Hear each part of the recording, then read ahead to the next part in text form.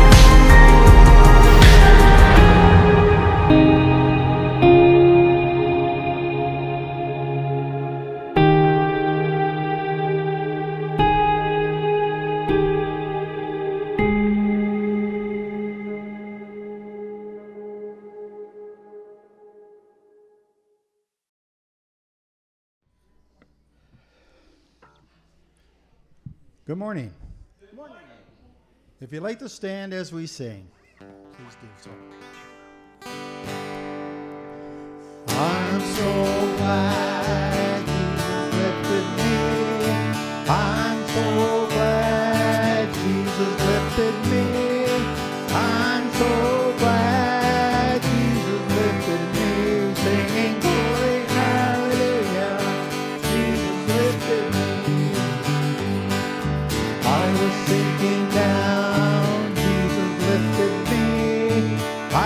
sink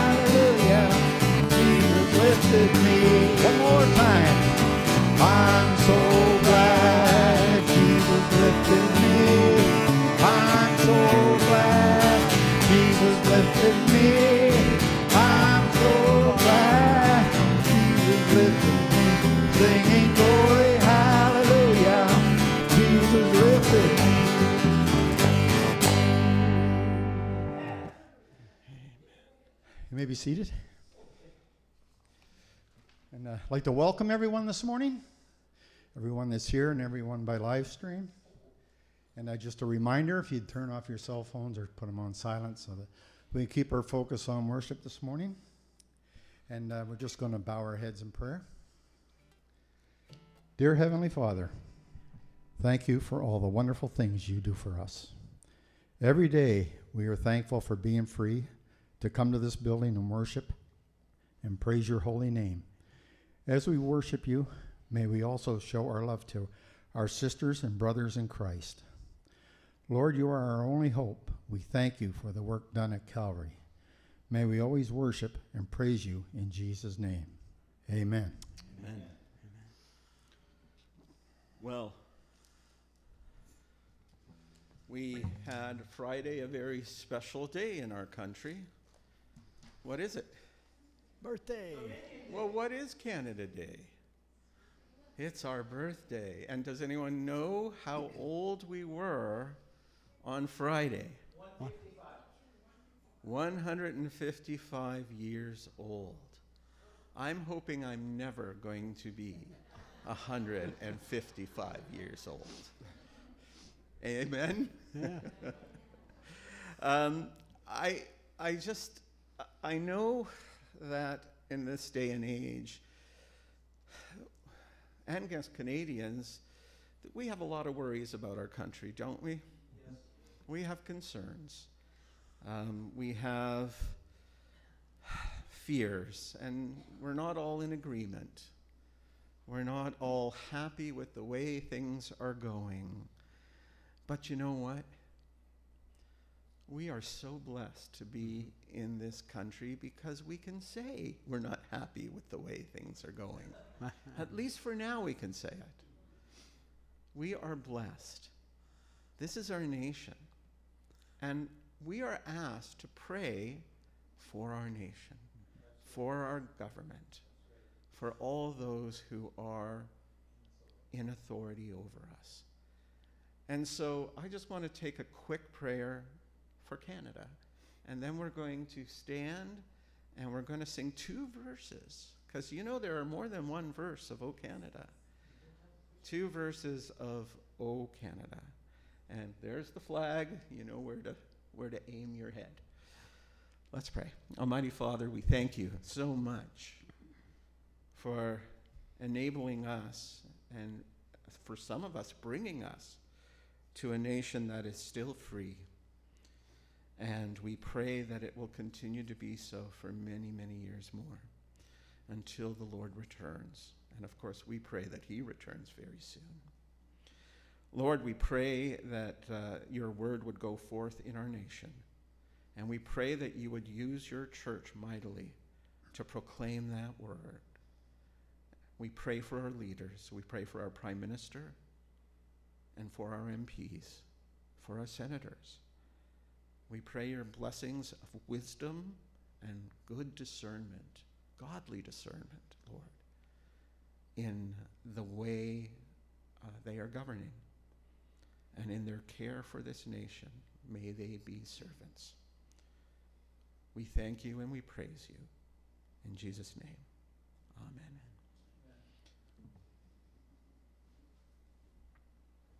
amen. Yeah, I think standing's a good idea. Sound.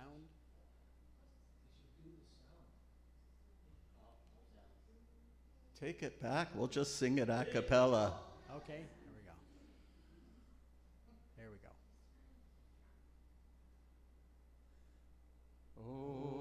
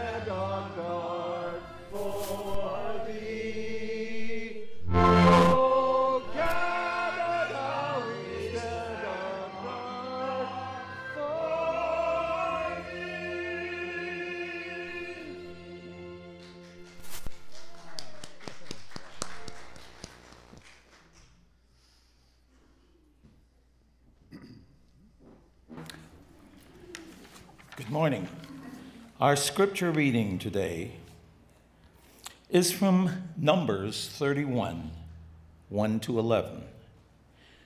It's from the New King James Version, and it says here, Vengeance on the Midianites. And the Lord spoke to Moses, saying, Take vengeance on the Midianites for the children of Israel, and afterward you shall be gathered to your people. That means Moses was about to die. So Moses spoke to the people, saying, Arm some of yourselves for war, and let them go against the Midianites to take vengeance for the Lord on Midian. A thousand from each tribe of all the tribes of Israel you shall send to war. So there were recruited from the divisions of Israel 1,000 from each tribe, 12,000 armed for war. Then Moses sent them to the war, 1,000 from each tribe. He sent them to the war with Phinehas, the son of Eleazar, the priest, eh, with the holy articles and the, and the trumpets, signal trumpets in his hand. They warred against the Midianites, just as the Lord commanded Moses, and they killed all the males. They killed the kings of Midian with the rest of those who were killed.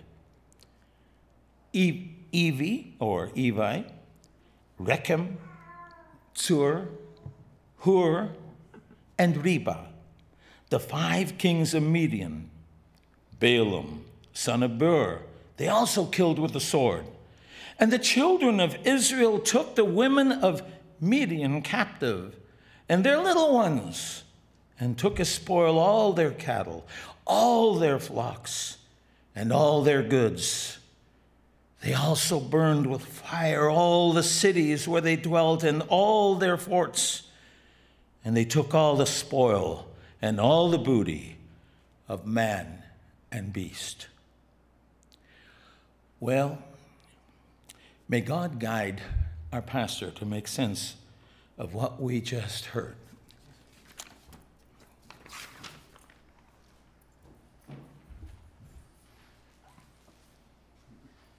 Okay, if you'd like to stand as we continue worshiping the Lord in song.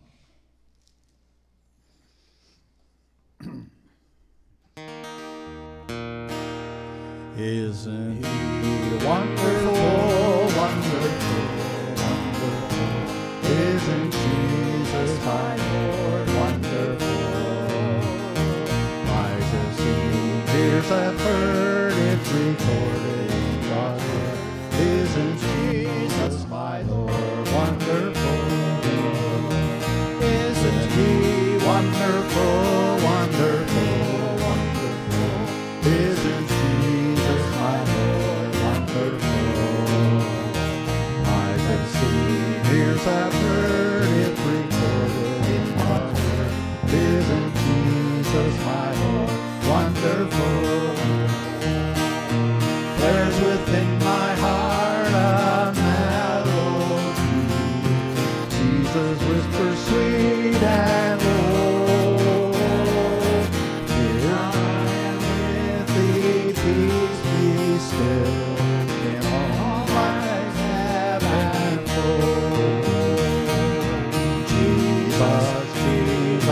Jesus,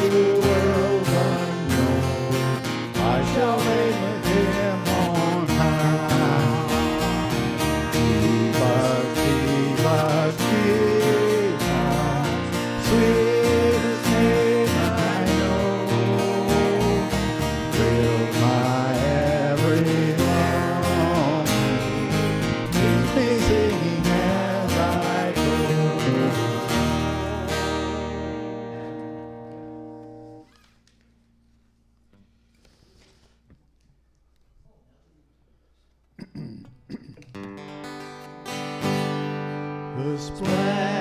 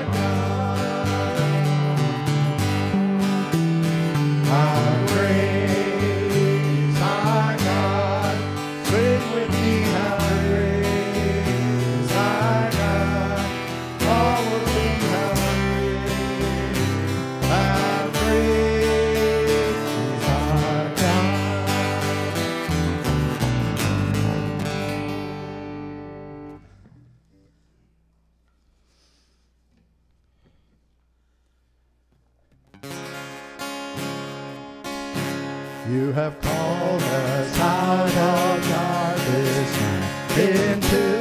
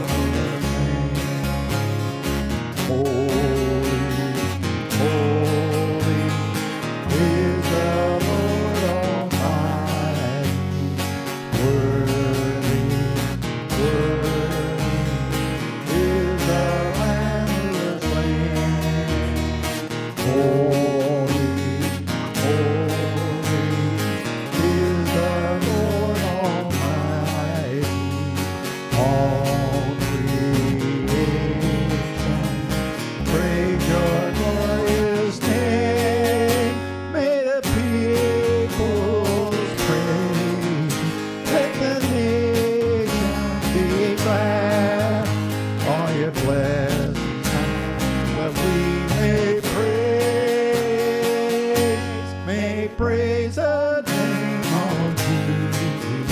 May the peoples praise.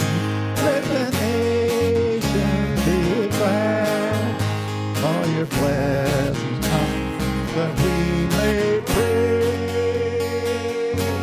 May praise the name of Jesus. Please be seated.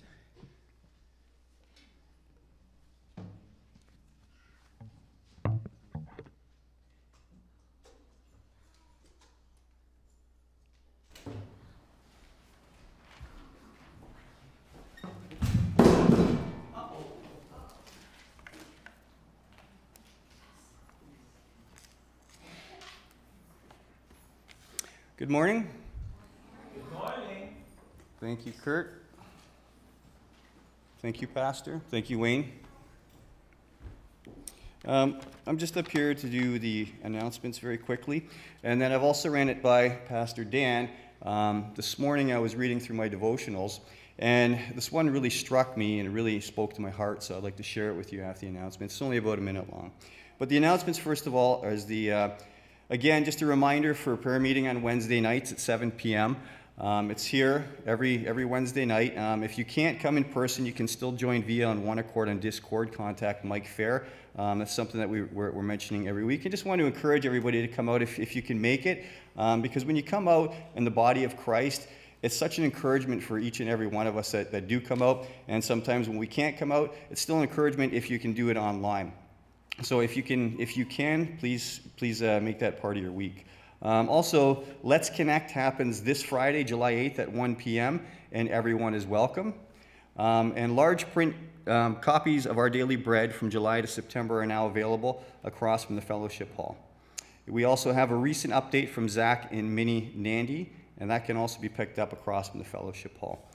Um, the devotional I was reading this morning is actually from on Father's Day when Rhonda and the children gave out these books, and this one's called Men of Valor.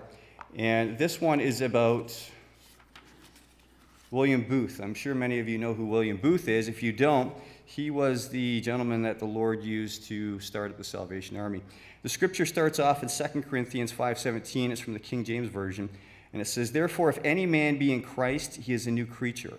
Old things are passed away; behold, all things are become new." Isn't that amazing that we have when we give our lives to Christ that he creates he, he makes us a new creature, and that's something that really hits home with me.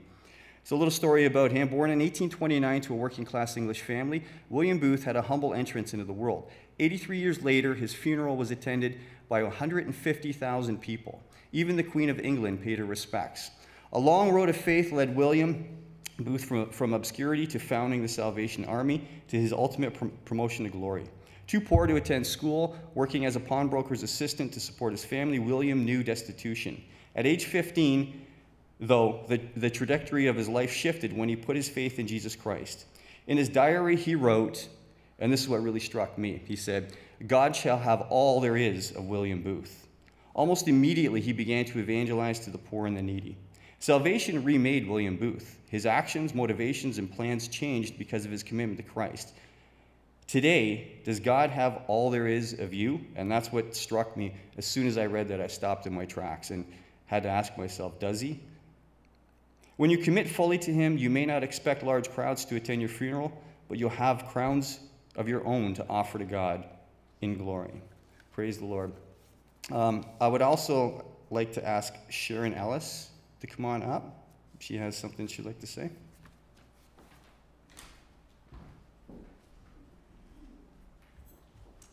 Good morning, everyone. Good morning. So, next Sunday after church, we're going to be having a lunch downstairs, uh, and I'm going to be sharing a little bit more about my next plans and what's going to be happening uh, with where I'm going to be moving to and what I will be doing, and a little bit about what I've done in the past. So, if you want to come and watch a film that I've worked on and hear some of my story and why I do what I do, uh, and eat delicious Middle Eastern food, uh, you should come downstairs uh, after church next week. And if you think you're going to make it, um, we've got a little sign up sheet back by the uh, sound desk where you can just put your name down and how many people you're going to be, just so we can have a rough idea of numbers. And so if you're online and you can't sign up, that's okay, you can still come. It's just for kind of getting a guesstimate for how many people we're going to be feeding. All right? Hope I see all you guys there.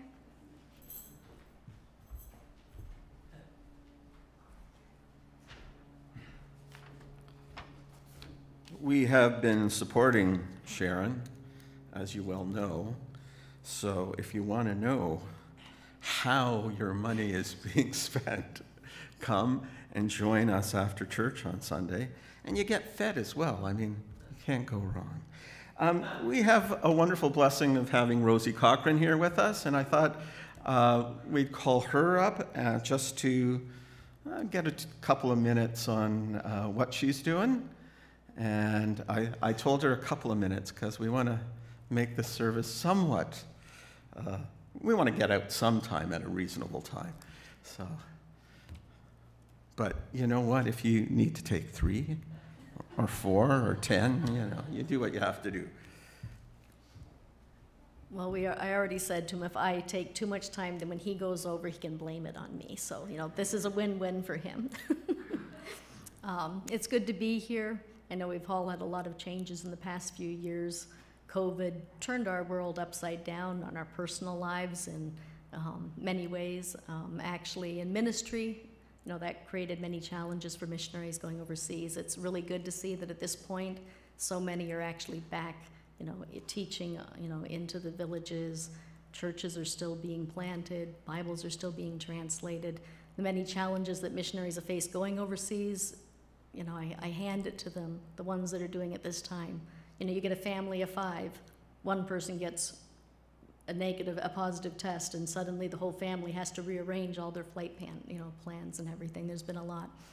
Um, at the home office, we have short-term trips, and those have been a challenge, and to be able to do in these past few years, they're a great recruiting tool. That we have mobilized so many people to come into missions through those, and you know, not being able to do them has been a challenge. So this year, one of the trips to called Encounter that we were able to take to Mexico, our team took down there. It not Mexico, sorry, um, Brazil. You know, we were all so excited they got to go there. They get there, and they actually ended up in quarantine a good bit of the time. You know, it's like, oh. But then as they're coming back, and my coworker came back, and um, just she came back the day I left, so I didn't actually get to talk to her in person. I was down in Florida for a few weeks here. Um, she gets back and she says, 10 of the 15 people on that team want to go into missions. You know, it's how God works, even in circumstances that we think don't seem ideal and aren't, aren't really happening the way we think they're supposed to. And yet, you know, 10 young adults challenged to go into missions through that trip when they were even in quarantine. You know, it's just so cool. So thank you. I'm not going to take a whole lot more time. Thank you for, you know, for praying for us, for praying for my mom. Maybe one of the other things that was helpful in COVID in my position at the home office, I'm the director of communications. It's not really ideal if you want to say that you're not there. And yet, when COVID came in, we were forced to work remotely for quite a while. Um, so when it came to the point wanting to come up here to be with mom, it's like, no, we can actually do this. You know, it just kind of opened the door that that was a more doable thing. So it is neat how God, not that He brought, we're not really that thrilled on COVID, but just how He works out all the details in our lives. And, you know, we serve a great God. Thank you.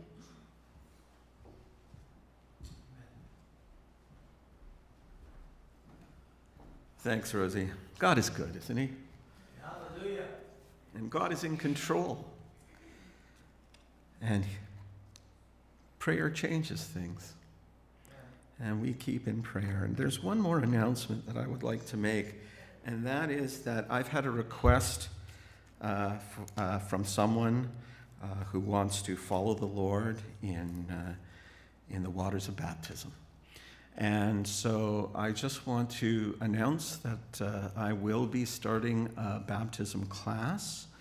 If there's anyone here who has not been baptized, um, as, or, or, or has not been baptized as a believer and would like to be baptized, come see me uh, over the course of today or, or the next uh, week. You can call me, and, uh, and uh, we will set up a class once I have an idea of who's, who's involved. And uh, those are all the announcements. Let us uh, bow our heads and, and pray to the Lord. Almighty Father, we sit here and stand here, some of us, before you because we recognize that you are the God that deserves all our worship, all our praise, all our thanksgiving. You have given us salvation while we were still enemies of you. You brought us to faith. Lord, we thank you so much for that. We thank you for the love we receive day by day, the mercies you make new every morning. We are blessed. And we want to lift up to you this congregation. We want to lift it up to you because we want you to make us a lighthouse in our community. We want you to move into, in our hearts through the power of your Spirit that He might force us to get out there and to seek and to save the lost. For that is what Christ came to do when he came on the earth was to seek and save the lost and he's called us to do the same. And we pray for those who are in our community that they might know and come to know the Lord. That your Holy Spirit would go before us and touch lives and touch hearts and touch minds and prepare them and then give us opportunity to speak the truth into those hearts, into those minds, into those lives, that fruit may be born for your kingdom. We thank you, Lord, that we have the blessing of those who have been sent and those who go forth that we've been able to support, and all the others who are missionaries in the field, whether they are here domestically, whether they are across the world. We praise you for them.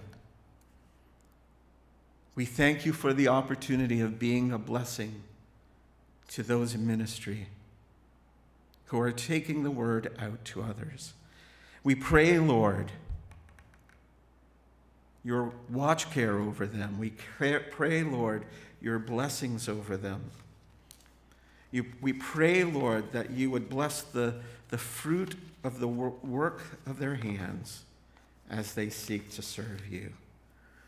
We especially want to, to lift up to you Timothy and Emma Condi.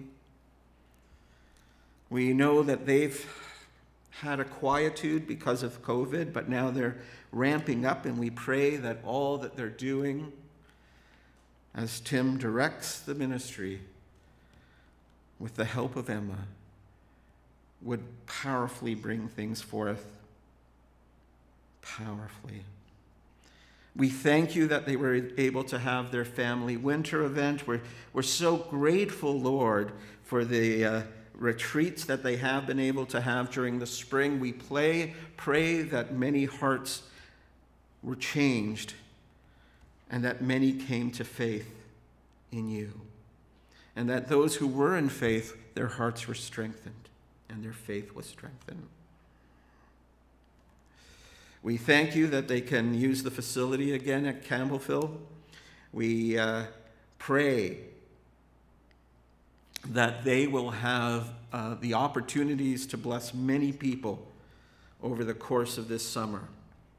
And we especially want to pray uh, in the midst of their ministry about the ministry of David and Noah, who are helping out in the mission. They come from Liebenzell Mission, and we know, Lord, that you are doing some amazing things through Liebenzell in Germany. And, uh, and we pray that uh, those young men here in Canada, from whatever country they come from uh, in Europe, will be uh, a blessing.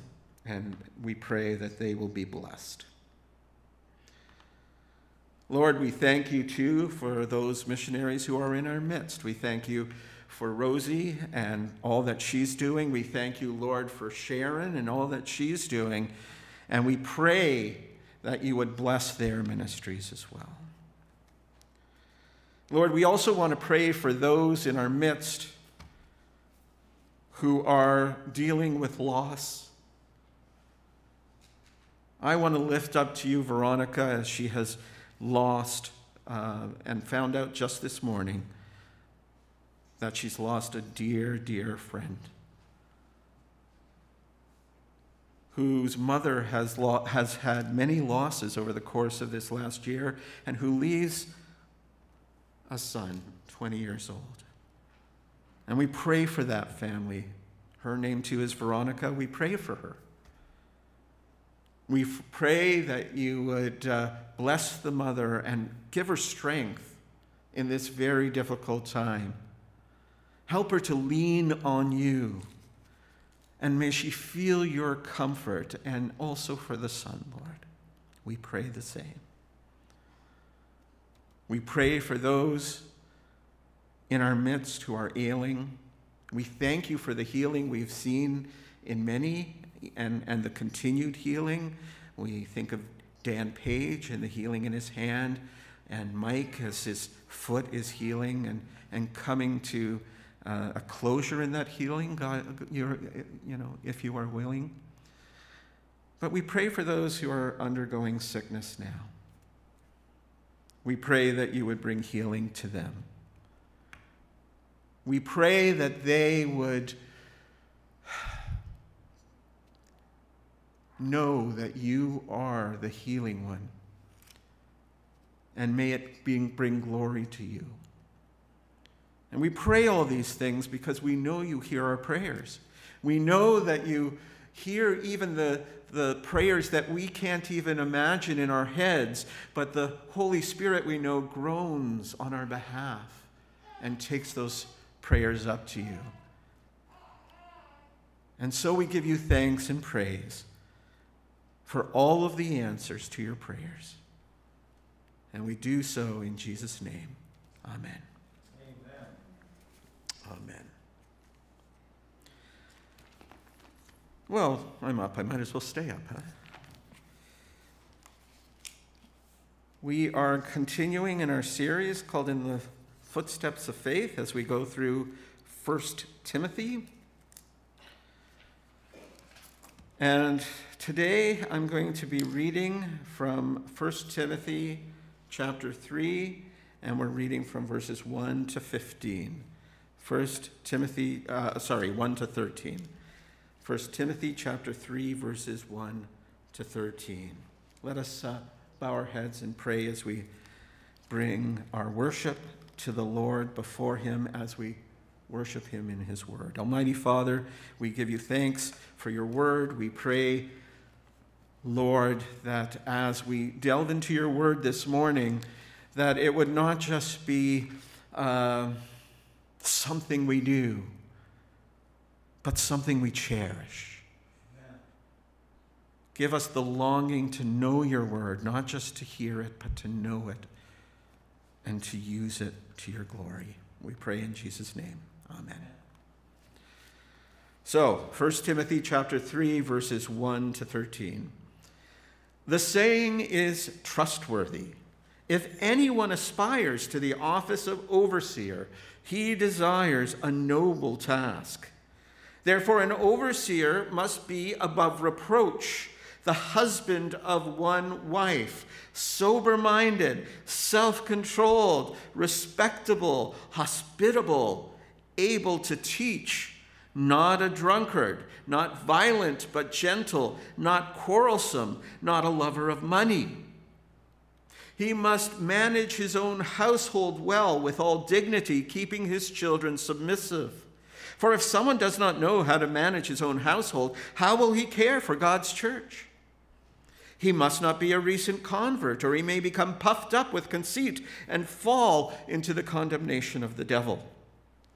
Moreover, he must be well thought of by outsiders, so that he may not fall into disgrace, into a snare of the devil. Deacons likewise must be dignified, not double tongued, not addicted to much wine, not greedy for dishonest gain. They must hold the mystery of the faith with a clear conscience, and let them also be tested first. Then let them serve as deacons if they prove themselves blameless.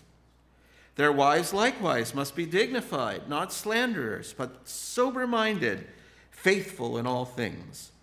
Let deacons each be the husband of one wife, managing their children and their own households well. For those who serve well as deacons gain a good standing for themselves and also great confidence in the faith that is in Christ Jesus. And may the Lord add his blessing to the reading of this word. And we all say together in his name, Amen. Amen.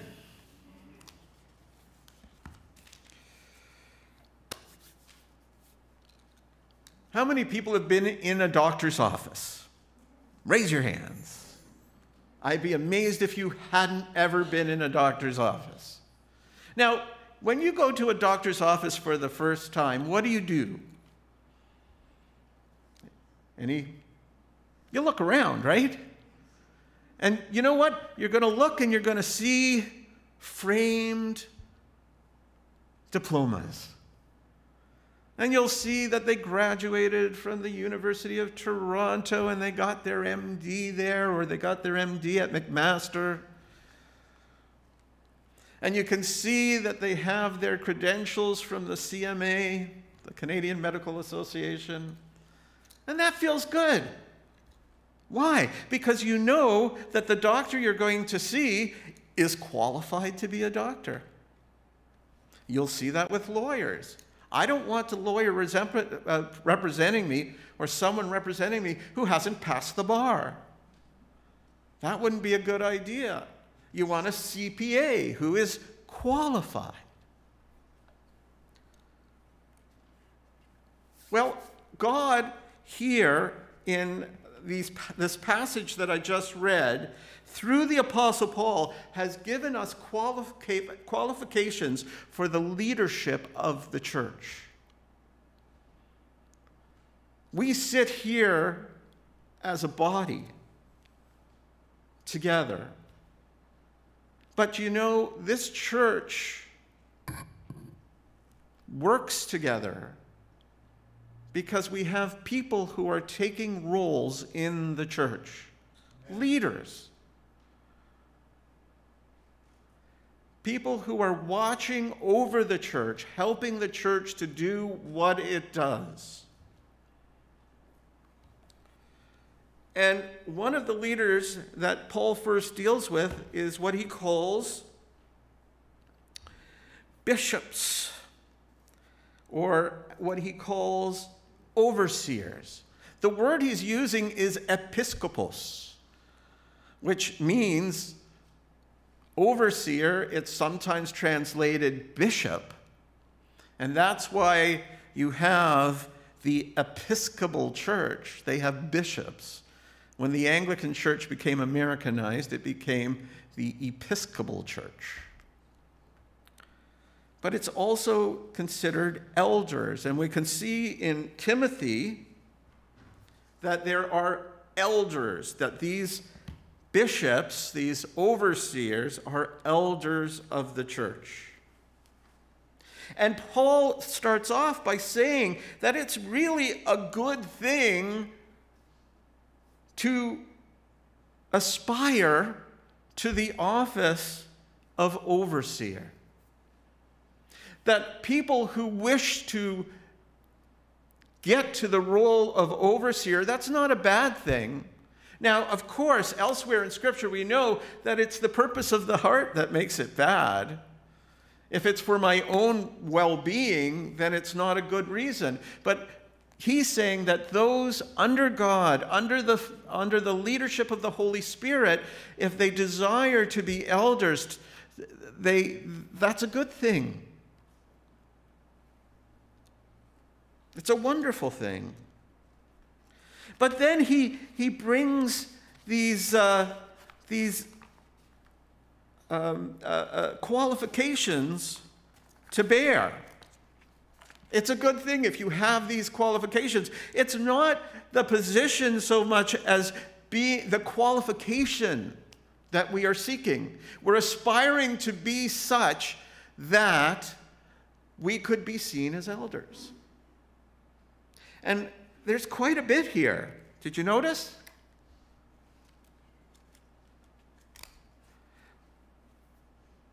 Because there's not only these needs for, for personal qualifications, there's spiritual qualifications as well.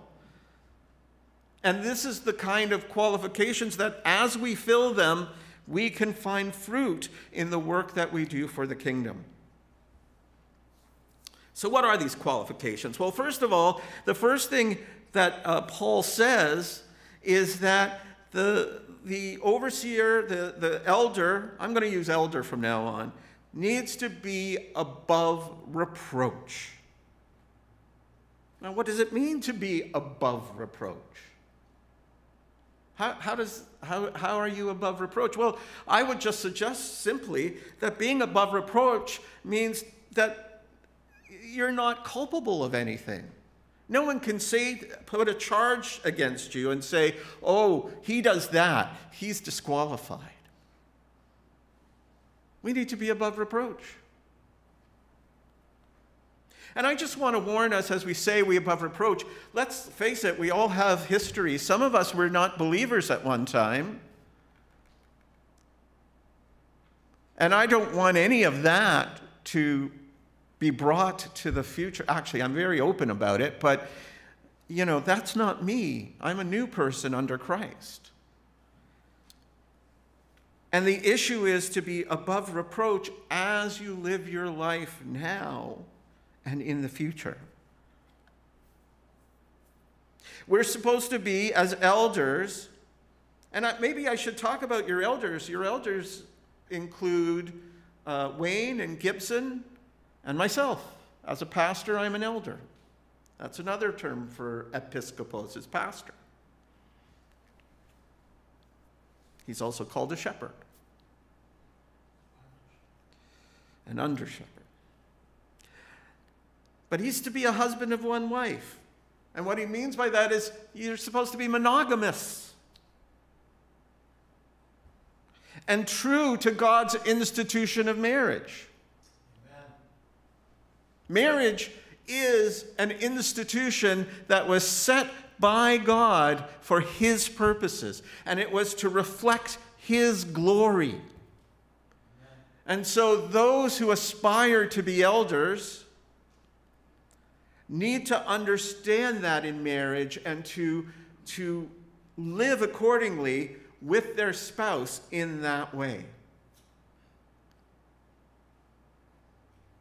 They're supposed to be sober minded. Now, later he talks about drunkenness, but sober minded here, I suggest, means that you're simply thinking straight. You're, you're, you're thinking reasonably. We might use the phrase, he's got a good head on his shoulder. An elder must be self controlled. He's got to be in control of himself. When temptation comes his way, he flees. He's not easily given in to temptation. He's respectable, which means that when people see him, he is deserving of their regard, of their respect. That they see someone and they say, wow, boy, wouldn't it be nice to be like him?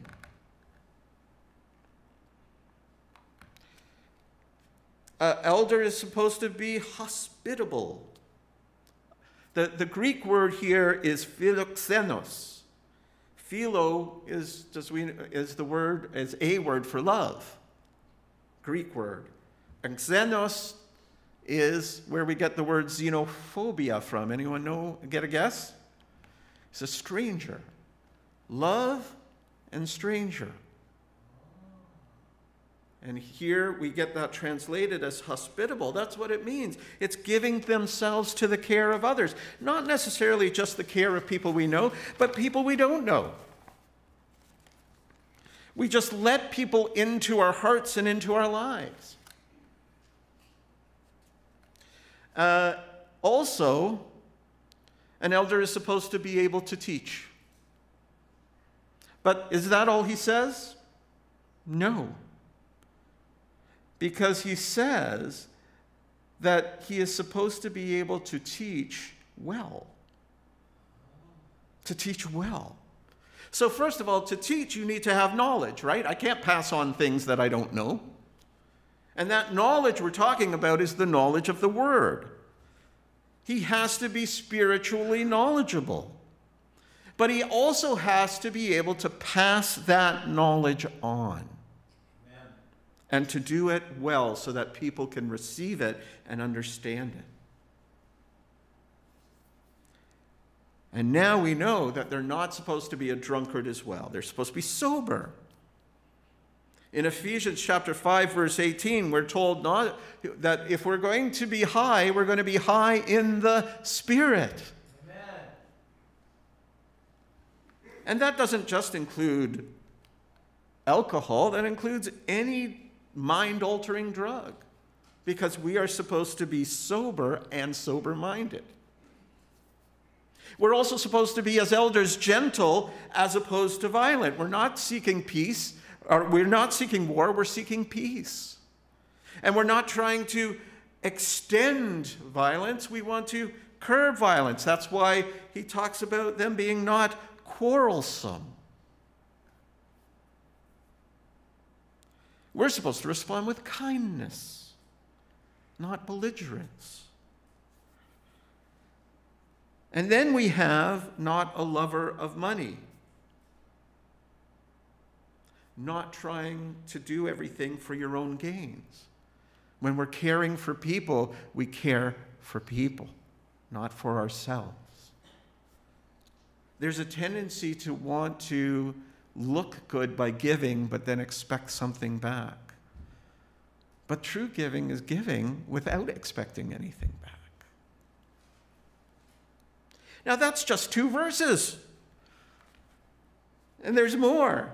He must manage his own household well with all dignity, keeping his children submissive. For if someone does not know how to manage his own household, how will he care for God's church? In other words, the, the elder has to be a good family man. He needs to know how to look after his household, both physically, well, both, all, all of it, uh, physically, emotionally, and spiritually. Now, here's my question Does that mean that an elder's household has to be perfect? Because then nobody's qualified to be an elder. But when if there's a problem in the family, you know what you're going to find? That when you look at the way the, the mother and the father raise their children, they've done their best. Nothing can be, they're not culpable.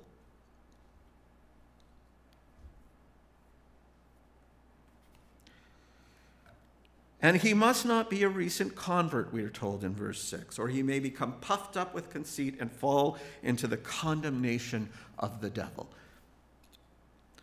Now,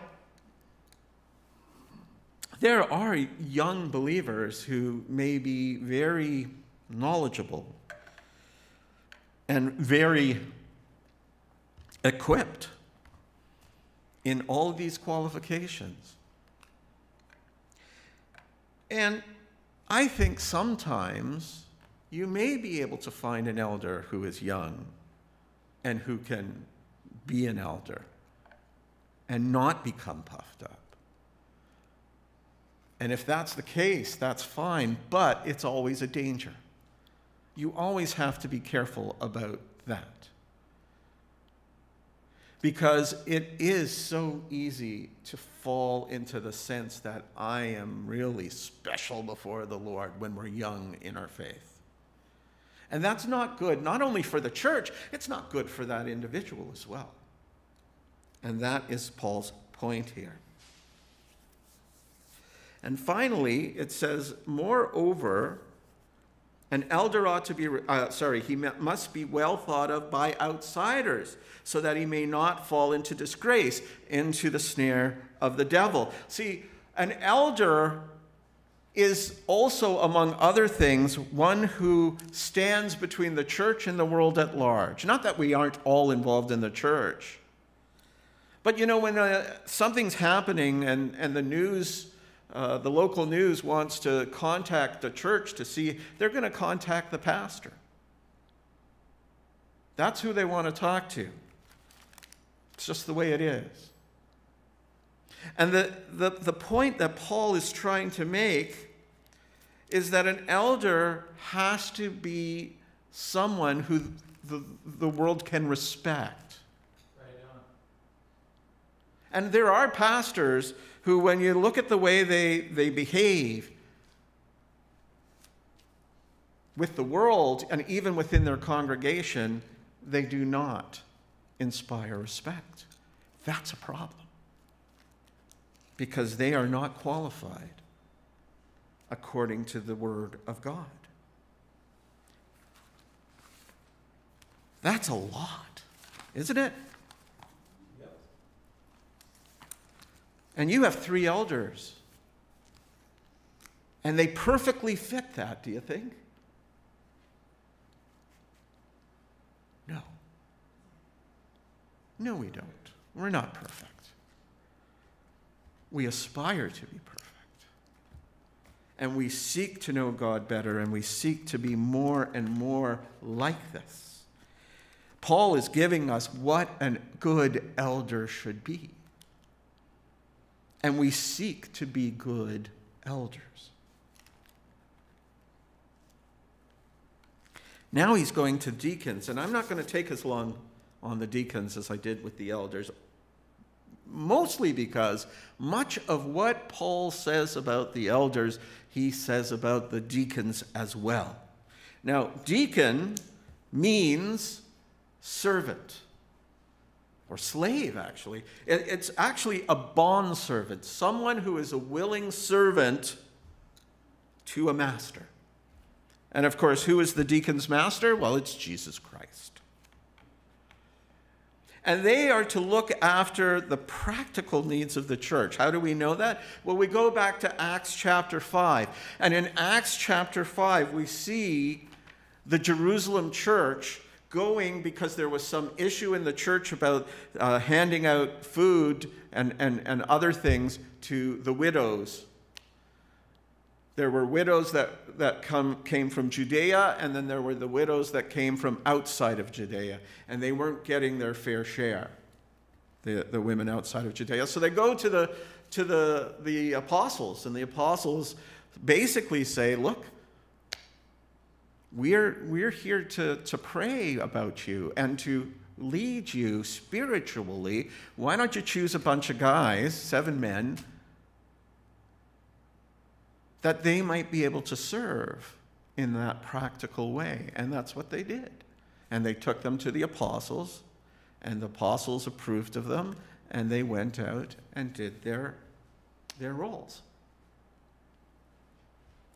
They were the first deacons of the church, the servants of the church, the slaves who work in the church to help the church do all that it needs to do. That's what a deacon is. And yes, there is a sense, and we had that wonderful message last week that everybody, I'm sure, was very excited about as we talked about men and women in ministry. But um, there is a sense in this passage that Paul is talking about men, but we know that there were deaconesses as well. We know that there were deaconesses of note, like Phoebe and Lydia and so on, who Paul knew and was very familiar with, were friends with. And I think if we looked at the context of the first century church, most of those women who were deacons were the wives of deacons. They were, in, in the Jewish context, and certainly the first century church was very Jewish in its context. In that context, women, men did not minister to women, women ministered to women.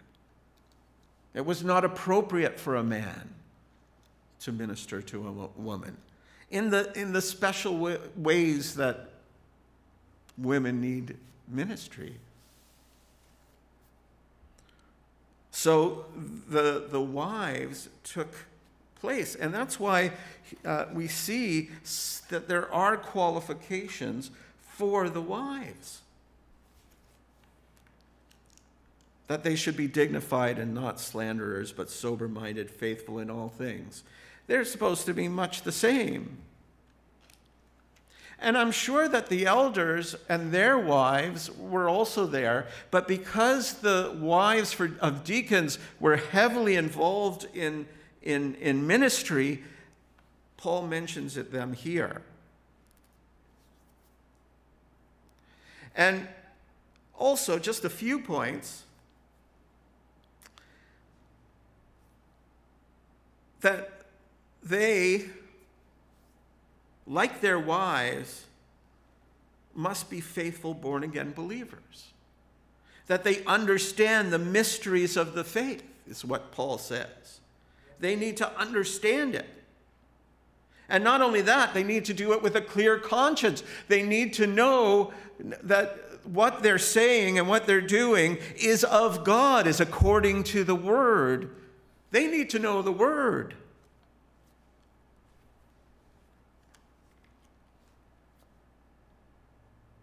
And then Paul finishes here. It's interesting. He starts with the, the fact that an aspiration to be an elder is not a bad thing, it's a good thing. But then he finishes with this For those who serve well as deacons gain a good standing for themselves and also great confidence in the faith that is in Christ Jesus. Good leadership brings about a good reputation. And that being a good leader with a good reputation reflects on the glory and the love of God. Because good leadership is about loving God and loving the people and letting God's glory shine. But it also creates confidence. The church wants to follow godly leaders. Good leaders, leaders they can trust in. So, very quickly, because I know time's running away on us a bit, but what can we take away from that? Well, first of all, we do see a definite dichotomy of leadership between elders and deacons, between overseers and the servants in the church.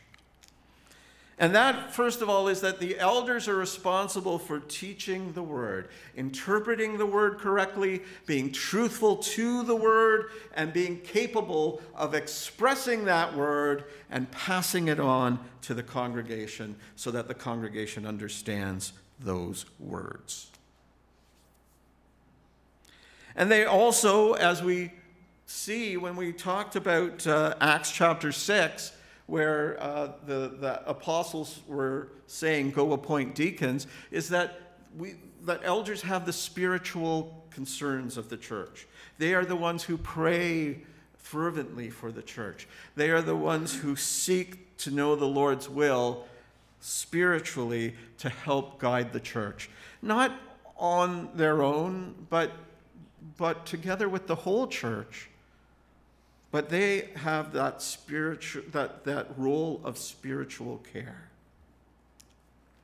But deacons and others leaders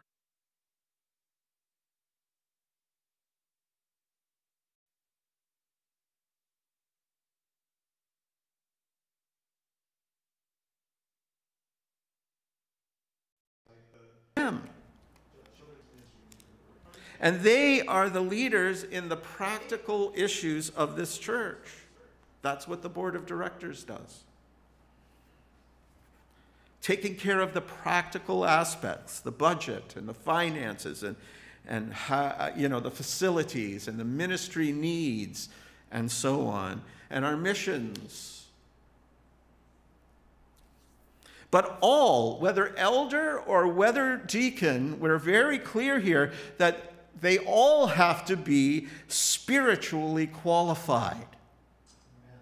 Spiritually qualified. They need to be able to do the things that will take their ministry further, the practical things, but they also have to know the Lord. They have to be able to know the gospel, and they have to be able to follow the gospel. But here's the thing go back to the beginning. This saying is trustworthy.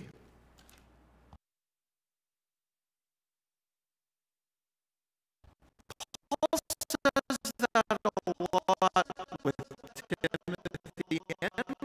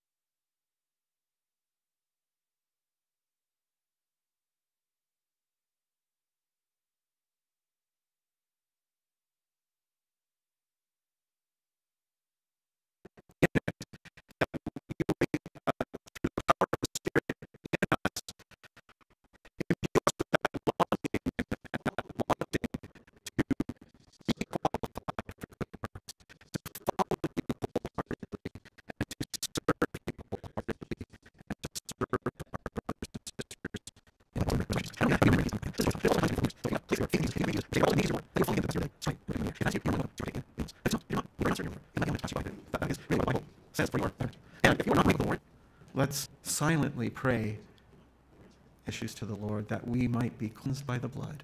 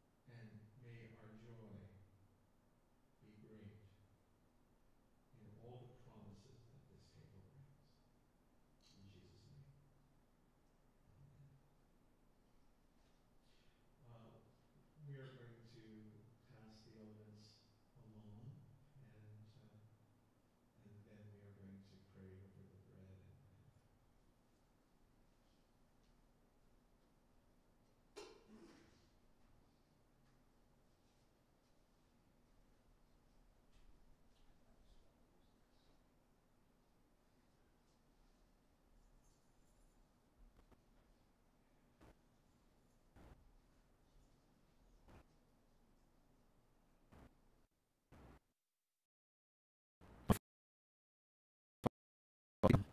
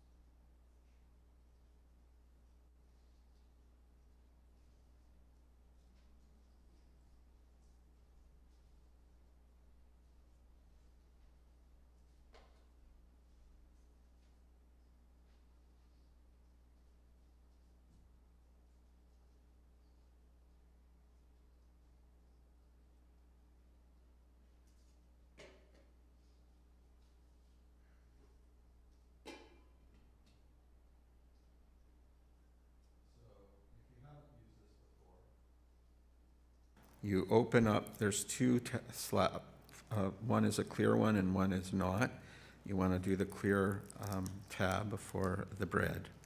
And then after the bread, uh, will, you take the other tab off for the, for the cup. I would ask our brother Gibson if he would pray for the bread.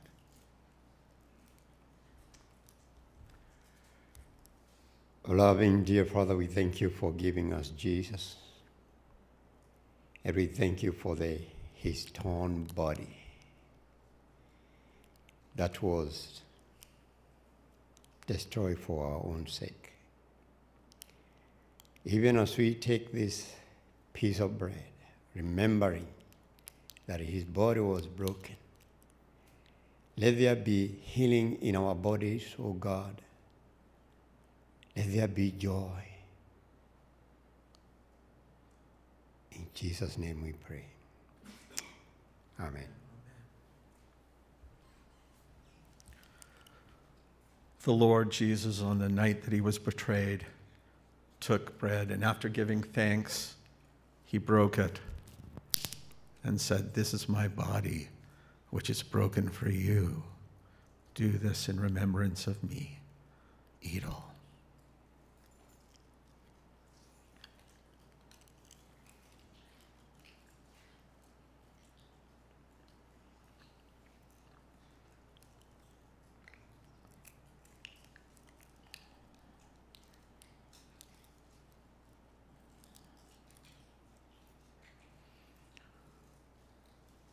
I would ask my brother Wayne if he would do the prayer for the cup.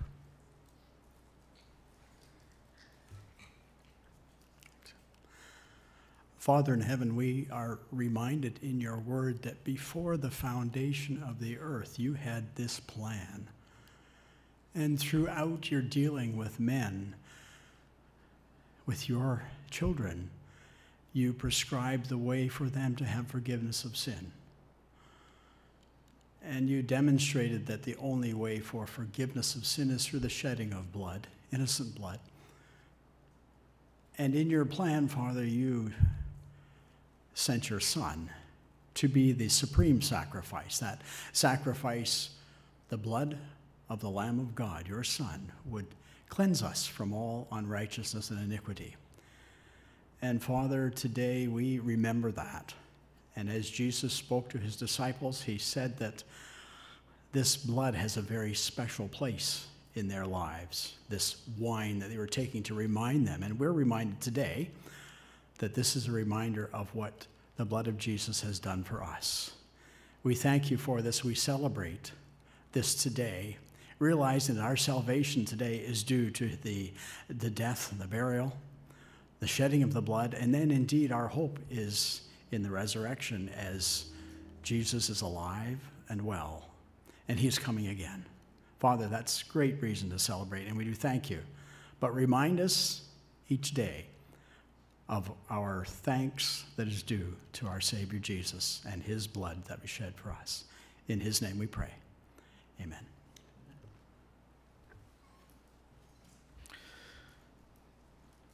In like manner, Jesus took the cup after dinner and said, This is the new covenant in my blood. Drink it in remembrance of me. Drink all.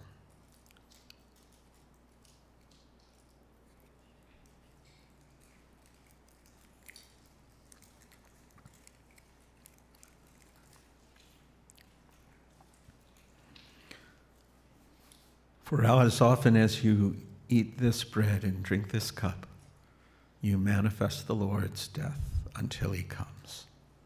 Amen.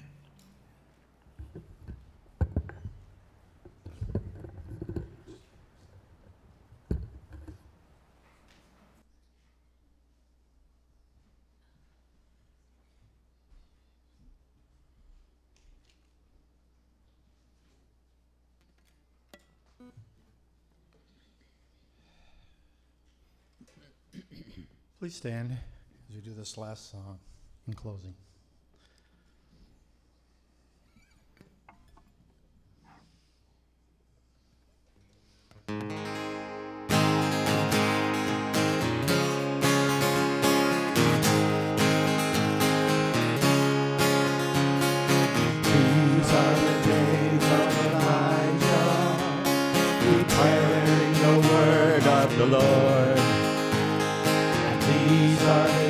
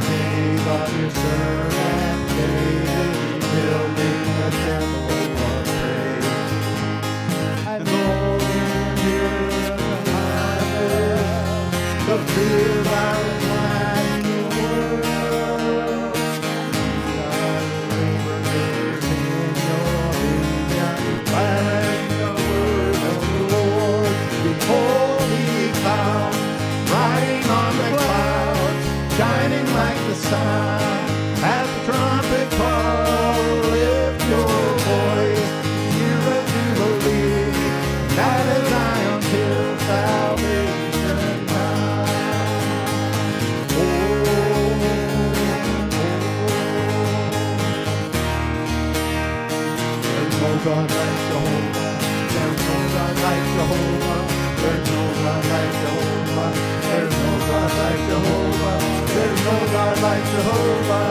There's no God like Jehovah. There's no God like Jehovah.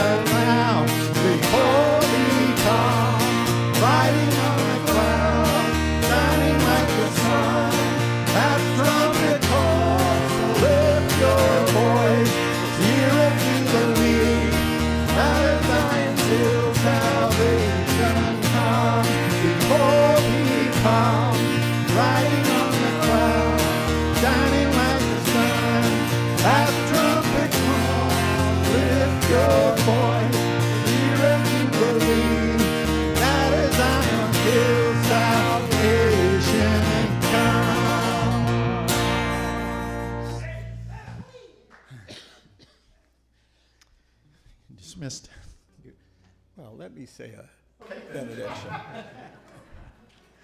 Lord, let us go out and serve you. Bless us, Lord. Bless our comings and goings. Bless the words of our mouth to speak of you and speak of your glory. And make us blessings, Lord. In Jesus' name, amen. Amen.